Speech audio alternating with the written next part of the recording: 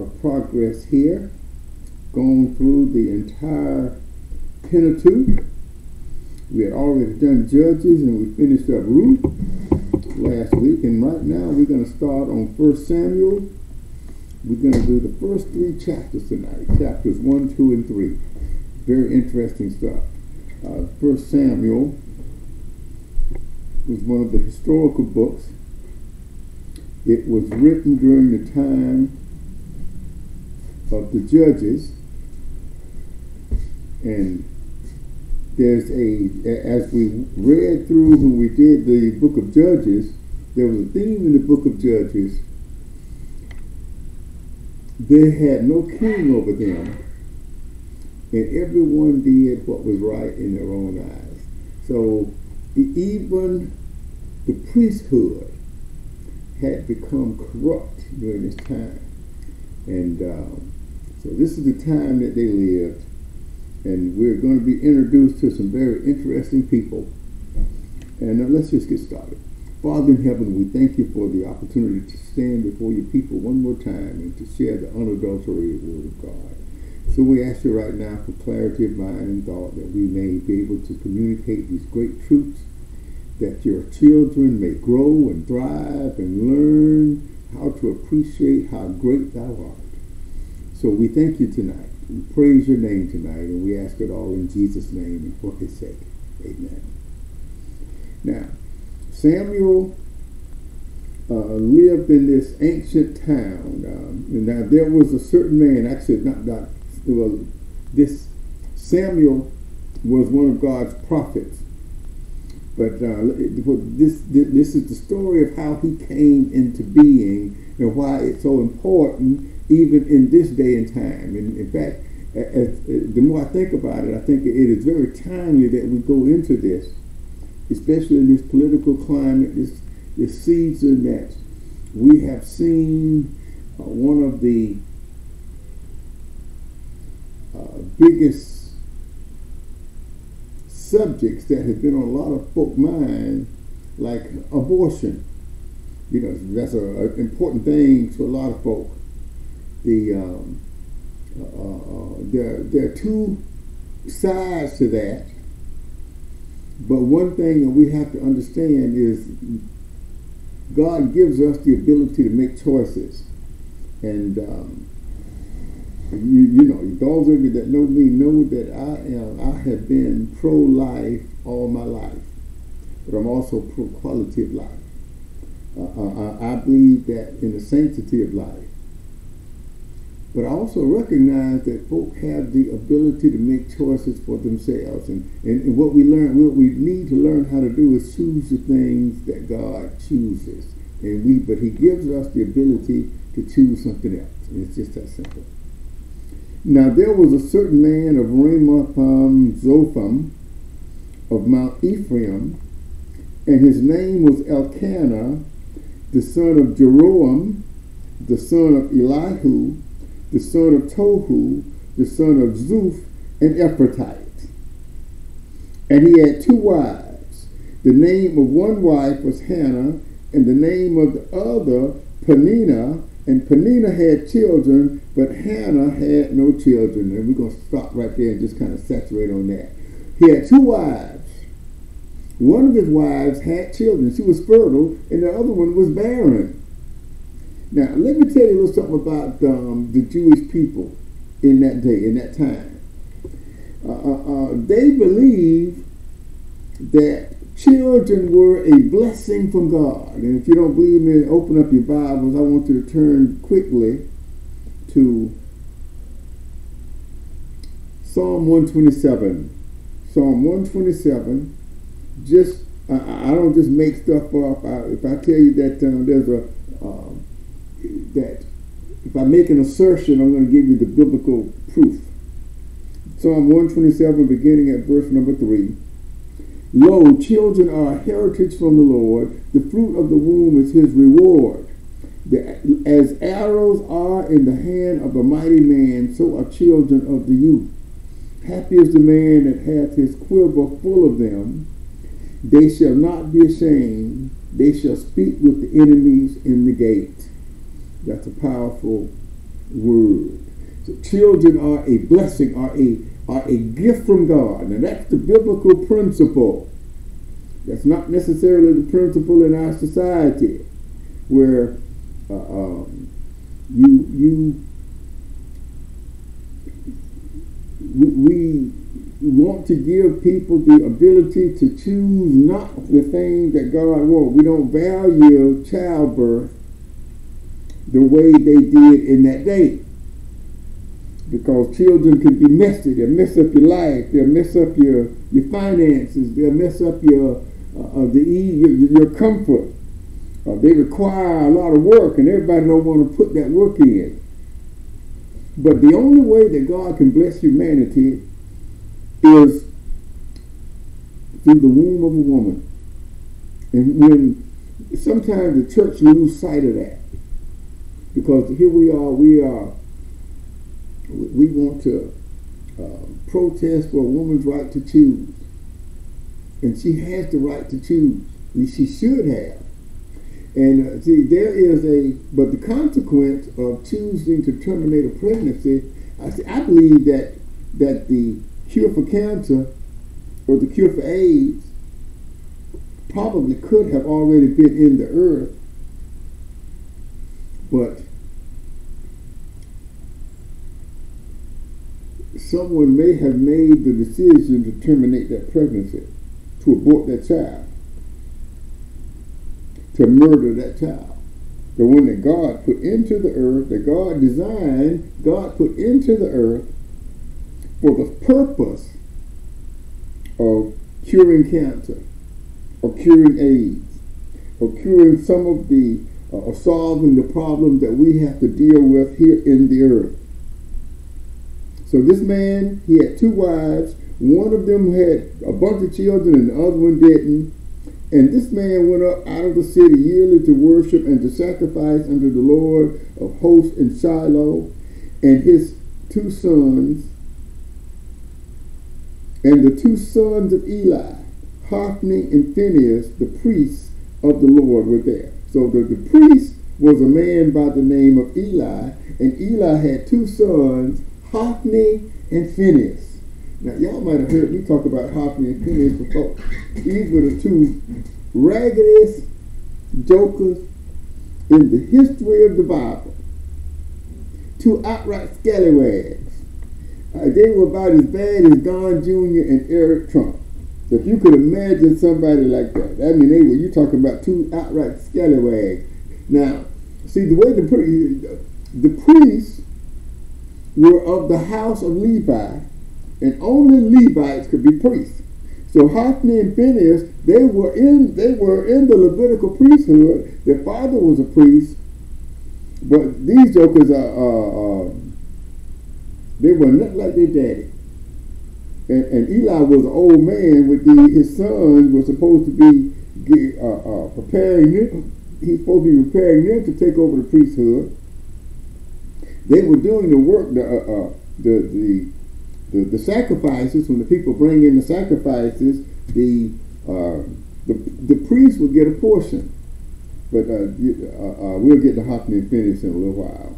And when the time was that Elkanah offered, he gave to Peninnah his wife and to all her sons and daughters portions.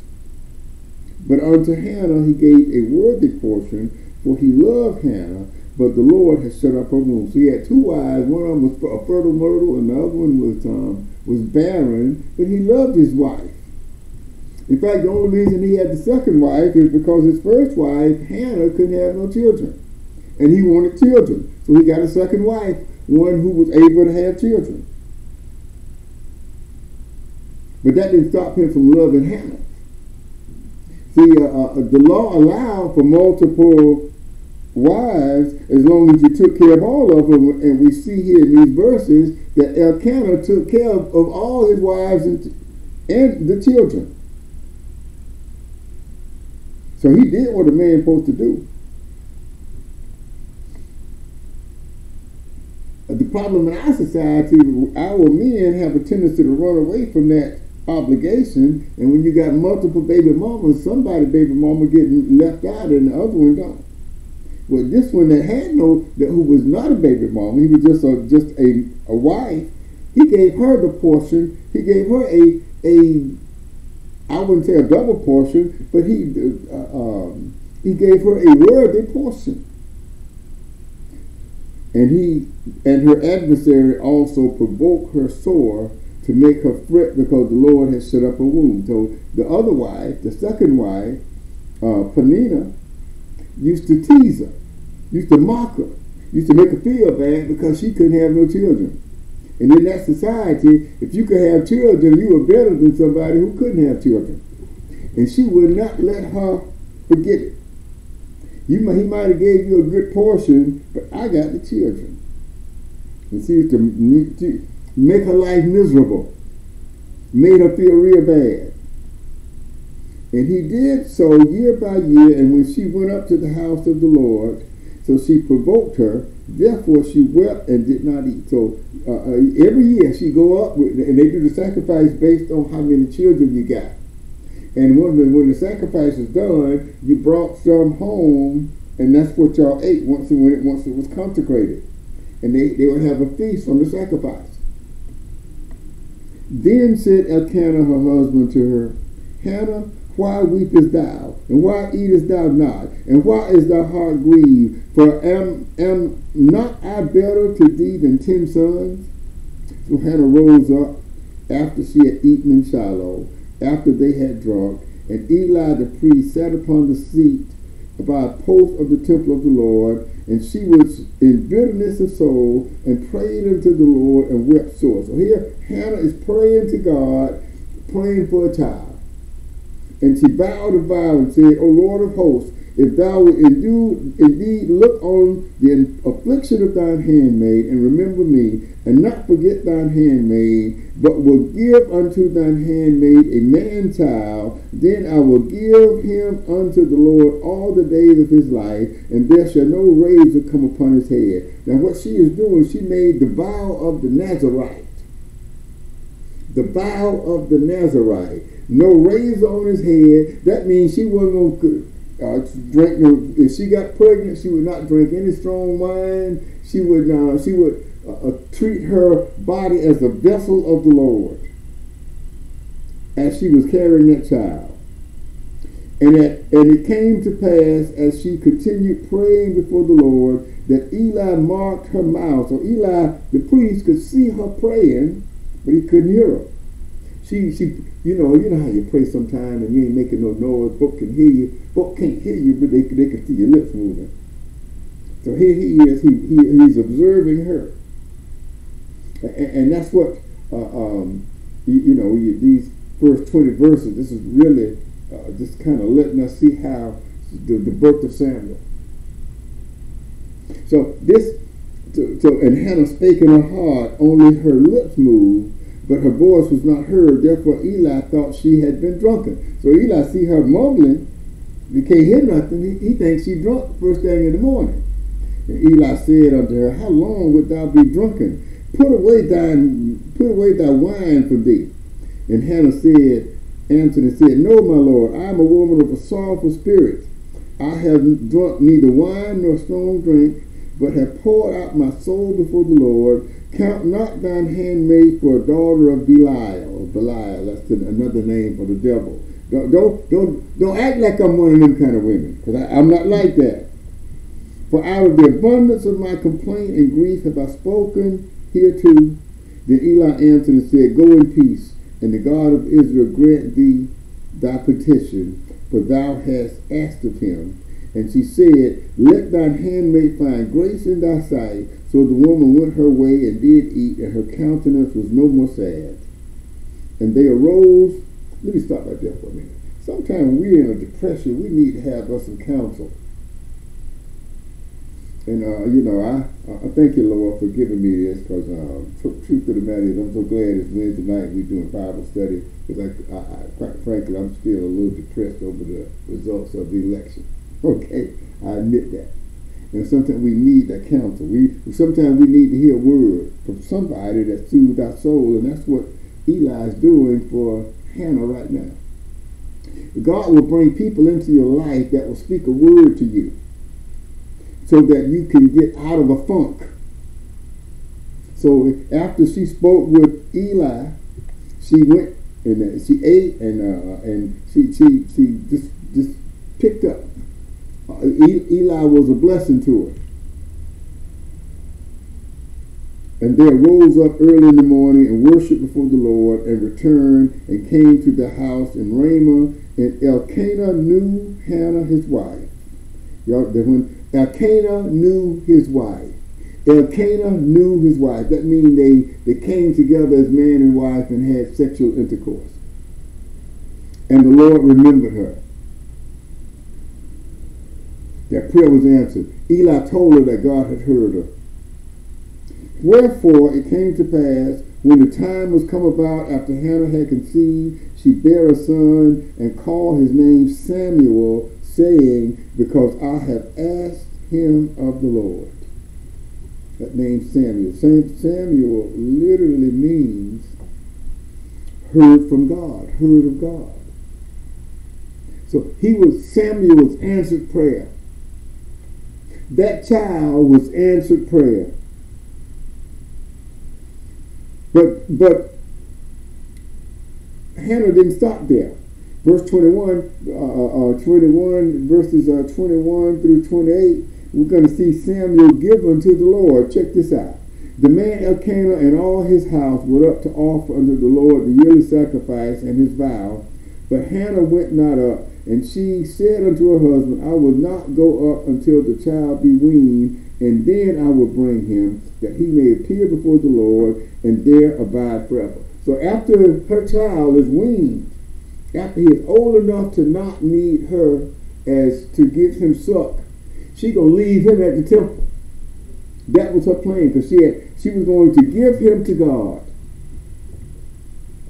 That seemed kind of radical, but you if you, you, you want God's favor, give your children to God. Let God have them. Now, we can't just leave them at the church house no more. So what do you mean, Pastor, about let God have the children? You pray for them. You give them over to it. You, you say, Lord, uh, uh, uh, uh order my child's step. Uh, uh, do for him what only you can do. And in this case, Hannah made the decision to leave Samuel at the temple, and he was going to be a he was going he would he would live the life of a priest or prophet. Uh, I was uh, watching something, looking at something on the internet one day, and um, there was a picture of a little boy. He might have been two or three years old, and the caption read, "Baby Bishop."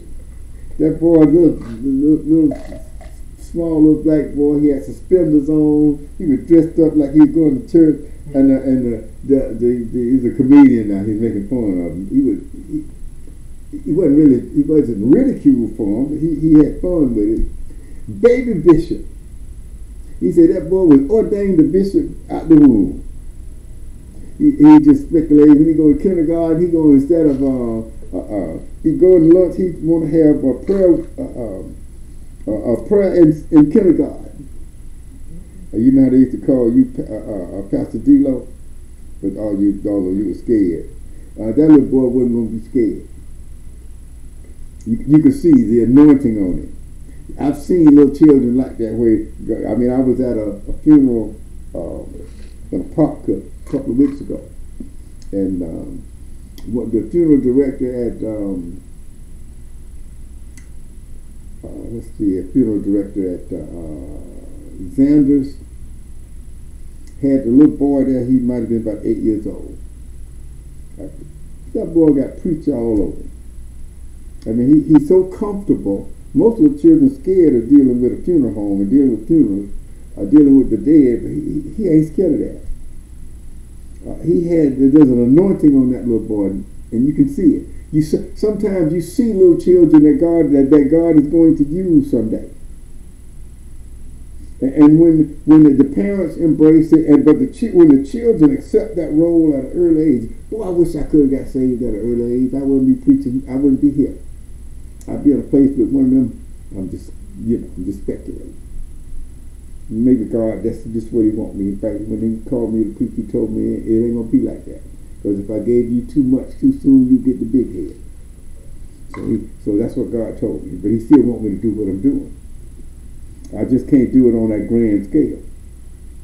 You don't get to preach to 20,000 people. You can't get for 200. And that's it. Because you got 20,000 people, they'll find you in some hotel room dead because you done got the big head and got, got beside yourself. Happen all the time. We see so many preachers fall, especially lately, because they got too big and they forgot God. They forgot about their assignment. Well, you see, uh, uh, this boy, uh, uh this child was going to have an assignment. His mama had already dedicated him to the Lord. And Elkanah, her husband, said unto her, What do seemeth thee good? Tarry until thou hast weaned him. Only the Lord established his word. So the woman abode and gave her son suck until she weaned him. And when she had weaned him, she took him up with her with three bullocks and one ephah of flour and a bottle of wine, and brought him unto the house of the Lord in Shiloh. And, and the child was young, and they slew a bullock and brought the child to Eli. And she said, O my Lord, as thy soul liveth, my Lord, I am the woman that stood by thee here praying unto the Lord. For this child I prayed, and the Lord hath given me my petition which I asked of him. Therefore also I have lent him to the Lord. As long as he liveth, he shall be lent to the Lord. And he worshiped the Lord there. My goodness. So she brought him to the temple after he was weaned and left him with Eli, the priest.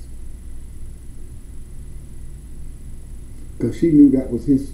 She had made that promise to God and she gonna keep her promise. So she lend her child. Guess what? When we lend our children to the Lord, they're gonna tell them what God gonna do with them. If the children cooperate, the blessings of God will be upon them. Isn't that amazing? This is what we talk about. This is the reason why you be, don't be in such a hurry to to terminate that pregnancy because you don't know what God got in store. You don't know what God got in store. I got a cousin, uh, uh, Apostle T.C. Maxwell. T.C. was preaching when he was 13 years old.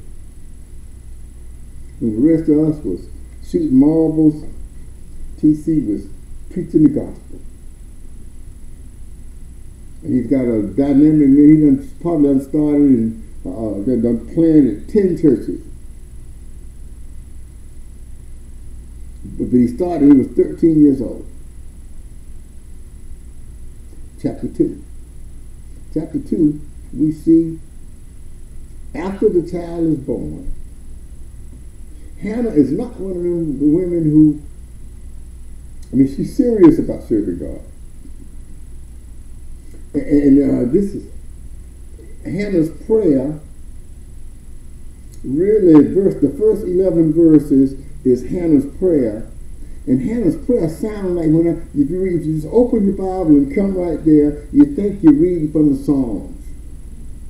It reads just like the Psalm. It reads like it, it's as powerful as something David did. And Hannah prayed and said, "My heart, my heart rejoiceth in the Lord. Mine horn is exalted in the Lord. My mouth is enlarged over mine enemies, because I rejoice in thy salvation. There is none holy as the Lord, for there is none beside thee. There is there is, neither is there any rock like our God. Talk no more so exceeding proudly. Let not arrogancy come out of your mouth. For the Lord is a God of knowledge, and by him actions are weighed. The bows of the mighty men are the bows of the mighty men are broken, and they that stumble and girded with strength. They that were full have hired out themselves for bread. They that were hungry cease so that the barren have borne seven, and she that had many children is waxed feeble. The Lord killeth and maketh alive. He bringeth down to the grave, he bringeth up. The Lord maketh poor and maketh rich. He bringeth low and lifteth up. He raiseth up the poor out of the dust and lift up the beggar from the dunghill to set them among princes, and to make them inherit the glory, the throne of glory. For the pillars of the earth are the Lord's, and he hath set the world upon them, and he will keep the feet of his saints, and the wicked shall be silent in darkness. For by strength shall no man prevail. The adversaries of the Lord shall be broken to pieces. Out of heaven shall he thunder upon them. The Lord shall judge the ends of the earth, and he shall give strength unto the king, and exalt the horn of his anointed. And Elkanah went to Ramah to his house, and the child did minister unto the Lord before Eli the priest. So after she done this, has rendered this prayer of thanksgiving to God, this this is an act of worship where she's worshiping God and she's gonna leave her child at that temple, and that's where he's gonna stay the rest of his days. That's where he's gonna stay. Now, here at verse 12, we learn a little bit more about the sons of Eli. Now, the sons of Eli, this is Hophni and Phinehas, they knew not the Lord. And here they are, they priests, but they, they did not have a relationship with God. You know how many preachers it is right now that don't really have a relationship with God? They preach a, a, a, liberal theology that does not require the blood of Jesus Christ. They don't believe in salvation. They don't believe in holiness. Uh, they believe in, I don't know what they believe in, but they don't believe the Bible.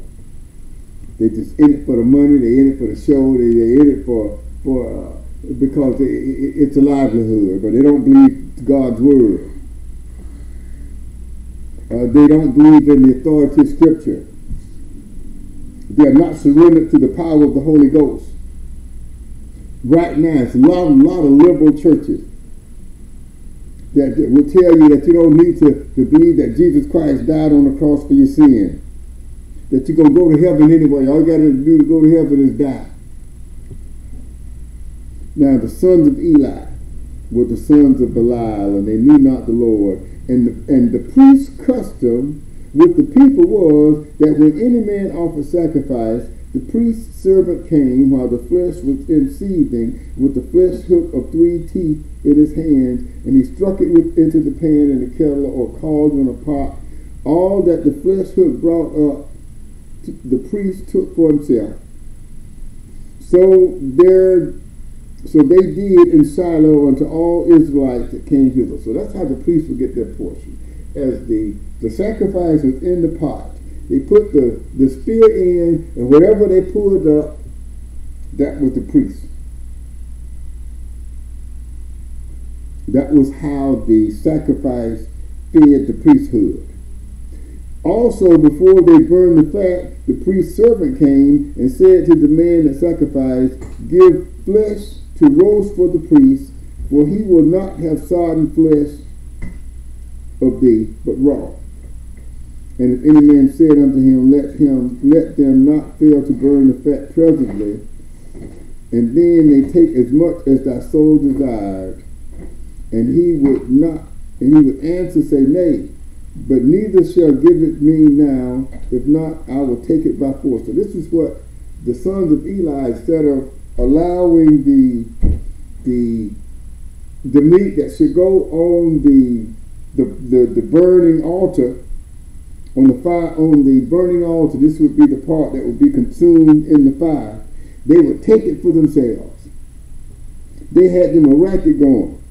They instead of letting it go in the fire, to give off a sweet aroma for the Lord, they took it for themselves and they were selling it. They were selling the meat that should have been sacrificed. They were selling it at the back door. These were the two sons of Eli. And Eli was letting them get away with it. He couldn't stop them. He didn't try to stop them. Wherefore the sin of the young men were very great before the Lord, for men abhorred the offering for men abhorred the offering of the Lord. But Samuel ministered before the Lord, being a child, girded with the linen ephod. Samuel wasn't even uh, wasn't even supposed to be there. But Samuel do it right by God. And the ones who were supposed to be there, they were making a, a sport. They had a racket going. Moreover, his mother made him a little coat and brought it to him from year to year. And when she came up with her husband to offer the yearly sacrifice, and Eli blessed Elkanah and his wife, and said, The Lord giveth thee seed of this woman for the loan which is lent to the Lord. And they went unto their own home. And the Lord visited Hannah so that she conceived and bare three sons and two daughters, and Samuel grew before the Lord. So here it is. She was faithful. She, she said, Lord, if you give me this child, I'm going to give him back to you. And she did just that. But God gave her more children. All these years she couldn't have children. So she God she prayed to God. God heard her prayer, gave her Samuel, and she gave Samuel back to the Lord, and God gave her more children. That verse 22. Now Eli was very old and heard all that his sons did unto all Israel, how they lay with the women that assembled at the door of the tabernacle of the congregation. They turned the, they, they turned the temple into a trick house. And he said unto them, Why do you do such things? For I hear of your evil dealings by all this people. Nay, my sons, it is no for it is no good report that I hear. You make the Lord's people to transgress. They're cutting up so bad in the church, they got the people sinning. They, they, they, they, they, they, they making out with the women. They got the racket going with the meat at the back door. And the people going along with it, because see, they know they're not supposed to buy that meat. Somebody in good faith bring the meat to the temple, they bring the, the animal sacrifice, and Hophni and Phinehas selling it out the back door. And the people who buying it ain't got no business doing that and they and, and they and they basically uh, they they don't turn the temple into one of the pagan houses uh, uh, uh, where they had the Vestal virgins. They would uh, have sex with the women as part of their religious ritual. That's what the pagans did. If one man sin against another, the judge shall judge him. But if a man sin against the Lord, who shall entreat for him? Notwithstanding, they hearkened not unto the voice of their father, because the Lord would slay them. And the child Samuel grew on, and was in favor both with the Lord and also with men. Verse 27 The Lord rejects. Verses 27 through 36, we see the, the Lord rejecting the household of Eli Eli had it was Eli's responsibility to keep them sons in check. If he couldn't stop them, he shouldn't even let them participate. He shouldn't have even let them participate. Sometimes you got to sit some folk down in church. Uh, and pastors don't like doing that, but sometimes folks get so bad you got to sit folks down in church. Uh, uh, uh, I know a pastor friend of mine had these two sons. In fact, I used to nickname them. I, I wouldn't tell them this in their face. But my nickname for it was Hophni and Phinehas. Because that's what they, uh, they, were, they were just messing with all the girls at that church. I called them Hophni and Phinehas. That was my nickname for it. My kind of personal nickname. Uh, uh, uh because that's what they were doing. They caused a lot of problem in, in, in, in that ministry. Uh, got girls pregnant and, you know, these are young women that in church being seduced by the sons of the pastor. Happen all the time. And did all and did I choose him out of all the tribes of Israel to be my priest, to offer upon mine altar, to burn incense, to wear the ephod before me? Did I give unto the house of thy father all the offerings made by fire of the children of Israel? Wherefore, kick yet my sacrifice and mine offering, which I have commanded in my habitation, and honor thy sons above me, to make yourself fat with the chiefest of all the offerings of Israel my people. Wherefore the Lord God of Israel said, I have indeed that, the, that thy house and the house of thy father shall walk before me forever. But now the Lord said, Be it far from me. For them that honor me I will honor, and they that despise me shall be lightly esteemed. Behold, the days come that I will cut off thine arm and the arm of thy father's house, and there shall not be an old man in thine house. And thou shalt see an enemy in my habitation. In all the wealth which God shall give Israel, there shall not be an old man in thine house forever. And the man of thine, whom I shall not cut off from mine altar, shall be to consume thine eyes, and to grieve thine heart, and all the increase of thine house shall die in the flower of their age. And this shall be a sign unto thee. Thou shalt come upon thy two sons, on Hophni and Phinehas, in one day they shall die, both of them. So he telling he telling Eli, both of your sons gonna die in the same day. And that's how you know I did it. And I will raise up me a faithful priest that shall do according to all to that which is in mine heart and in my mind, and I will build him a sure house, and he shall walk before mine anointed forever. And it shall come to pass that everyone that is left in thine house shall come and crouch to him for a piece of silver and a morsel of bread, and shall say, Put me, I pray thee, into one of the priest's offices, that I may eat a piece of bread.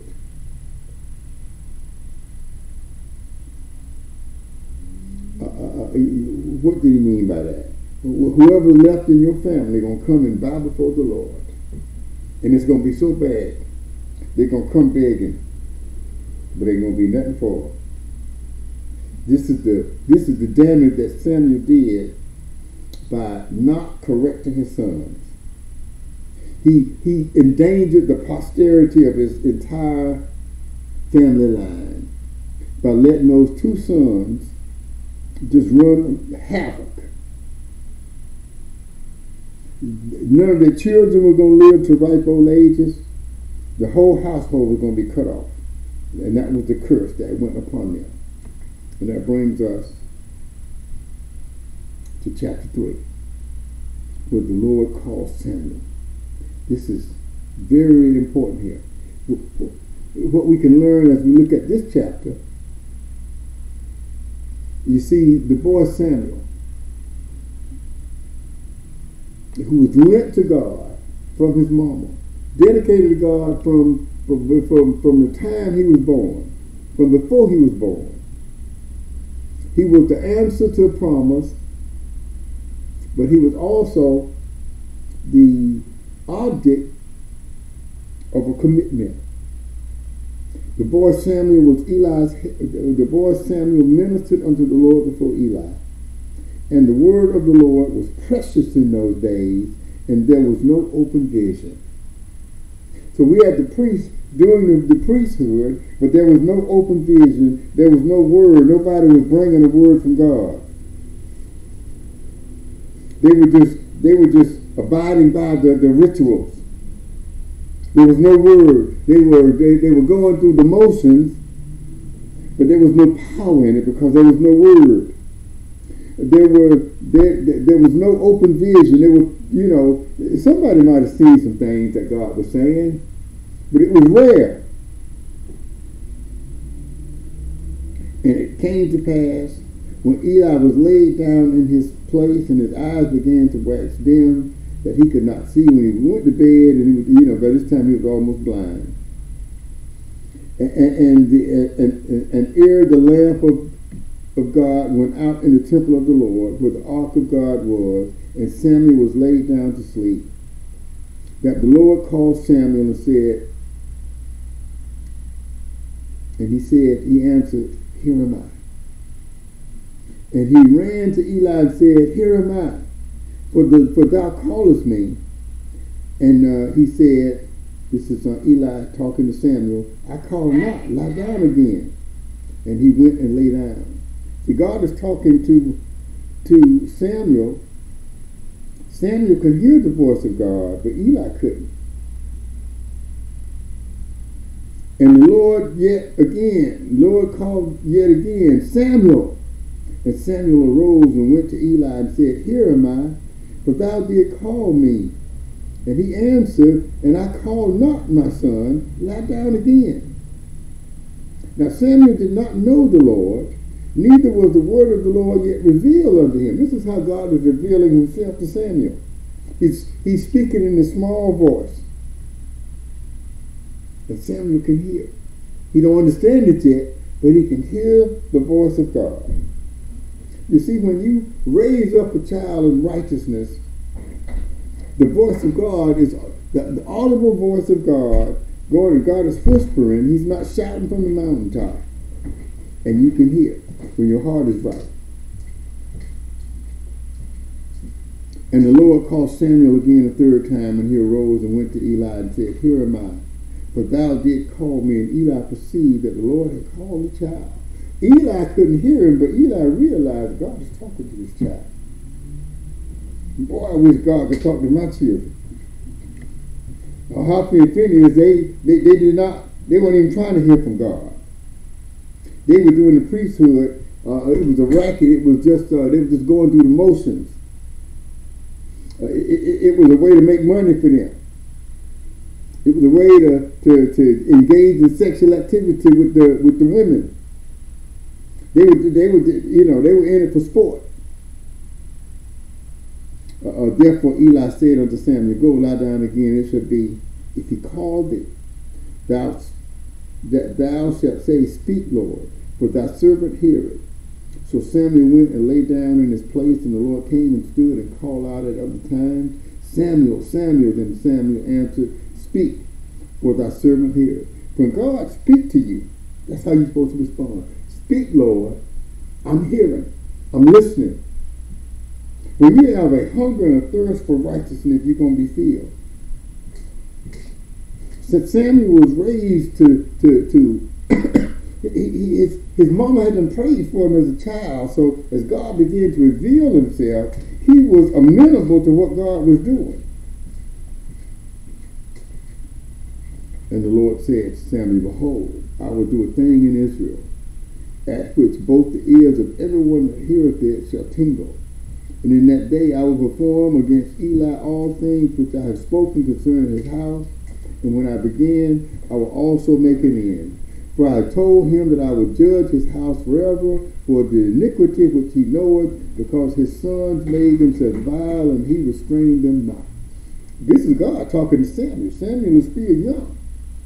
He done grew up now. This is remember now. They coming year after year with the sacrifice. And therefore I have sworn unto the house of Eli that the iniquity of Eli's house shall not be purged with sacrifice nor offering forever.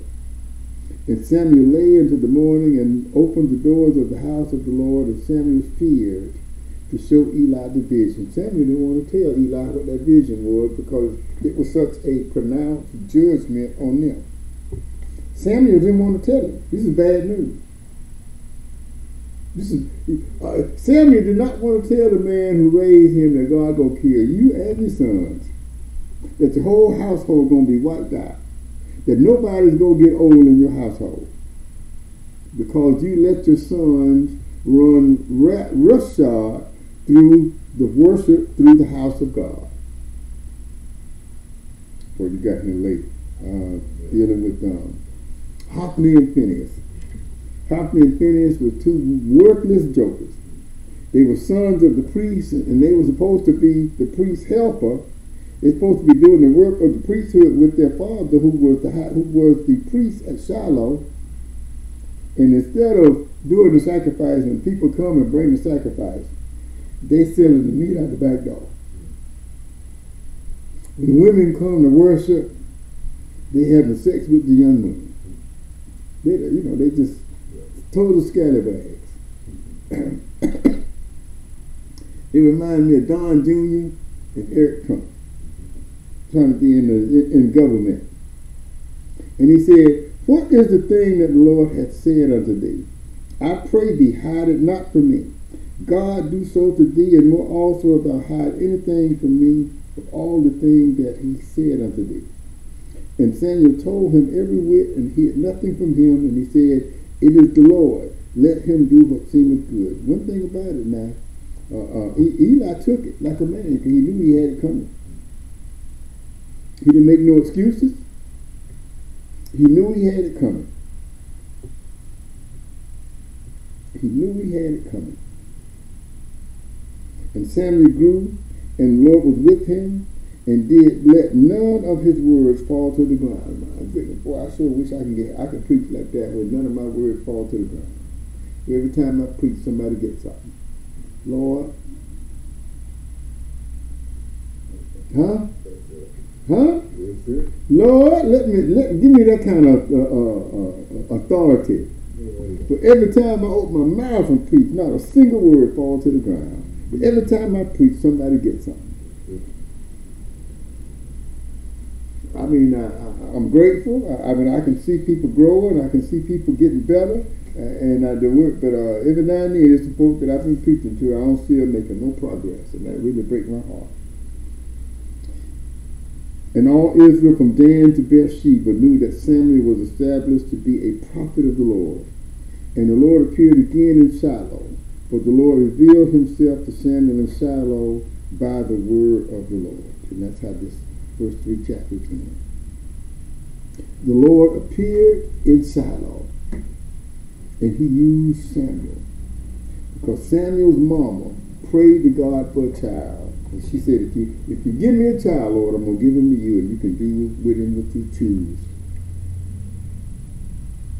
Imagine that when we give our children over to the Lord. That's what you're supposed to do. You can't worry about what they're going to be, what they're going to do. You give them to God, say, Lord, they're yours. You keep them covered in prayer. You try to live upright in front of them, and maybe they'll catch it. Maybe they would be inspired, but you can't do like Eli and just let them do anything.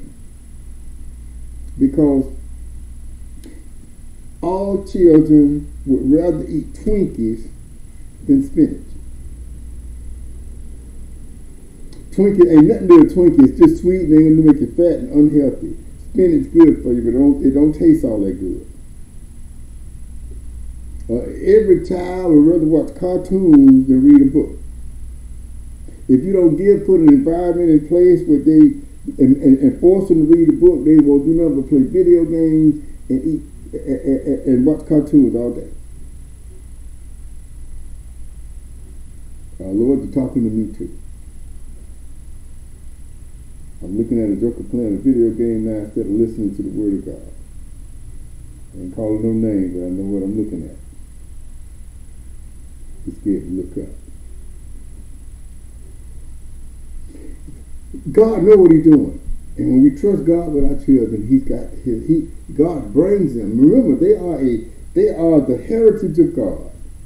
And when we bring them into the world and give them over to God, God can do something with them.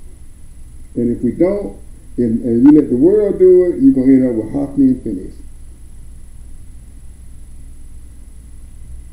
I don't know about you, but I don't want no Hophni and Phinehas.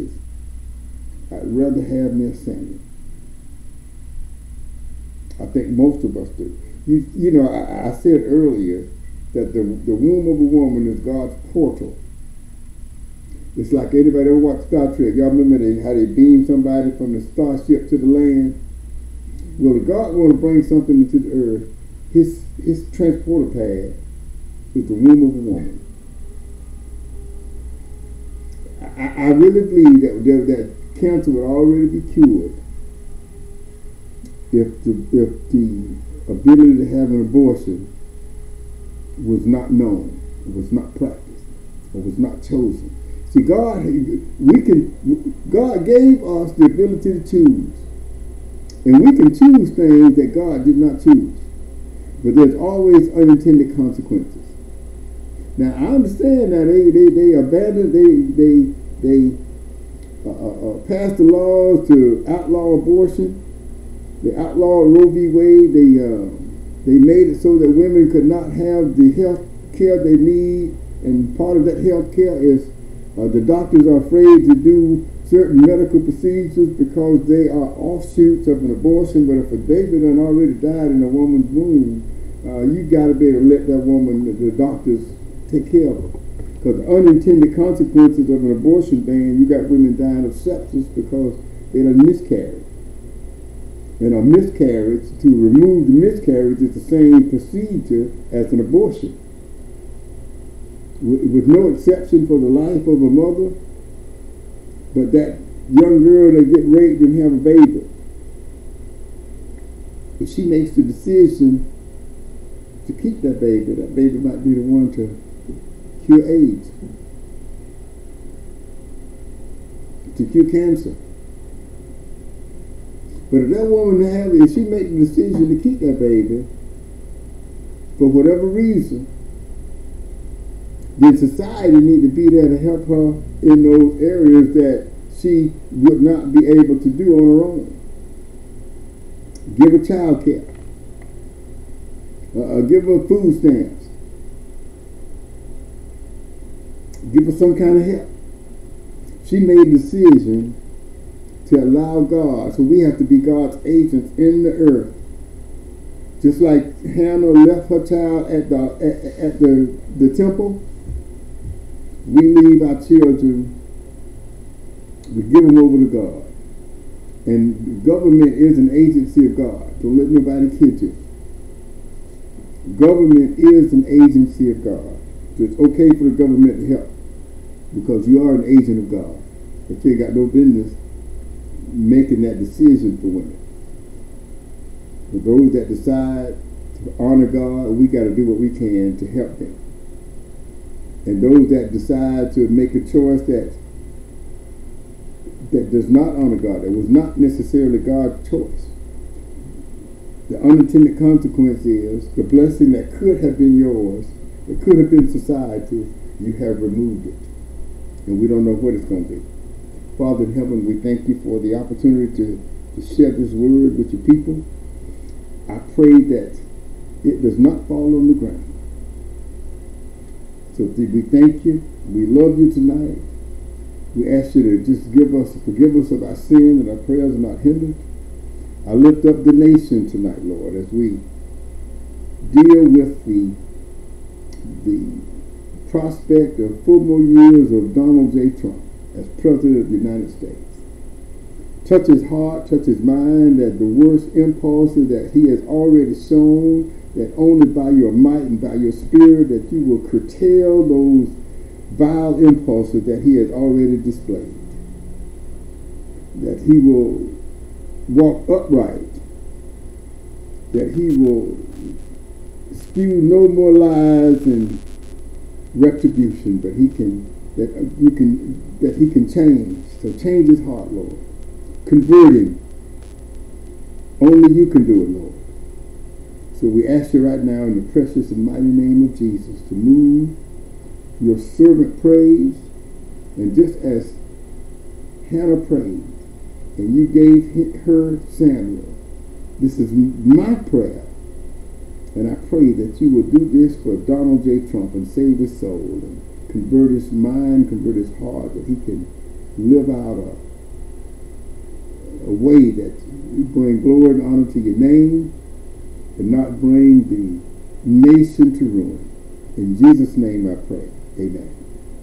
Now, if anybody want to give to the ministry, you may do so using Cash App or Zelle, dollar sign Green WL, Zelle 689-246-5892. Uh, any gift of any amount be greatly appreciated. Uh, we uh, just thank you for tuning in tonight. Um, we're going to look at chapters 4, 5, and 6 next week. But First Samuel, this is a fantastic book. These historical books they are relevant in our day and in this time, so don't overlook them. Unfortunately, too many preachers just kind of don't see the value, but uh, I believe in preaching and teaching the whole counsel of God. Now unto him who is able to keep us from falling, present us faultless before his throne with exceeding great joy, the only true and wise God. May glory majesty, dominion and power, now and forever, and all of God's people said amen. We see y'all on Sunday, 7474 West Colonial Drive at the Holiday Inn Express Meeting Room. That's where we have church. Uh, next week we'll be back here at 7.30. Um, so we see y'all next time.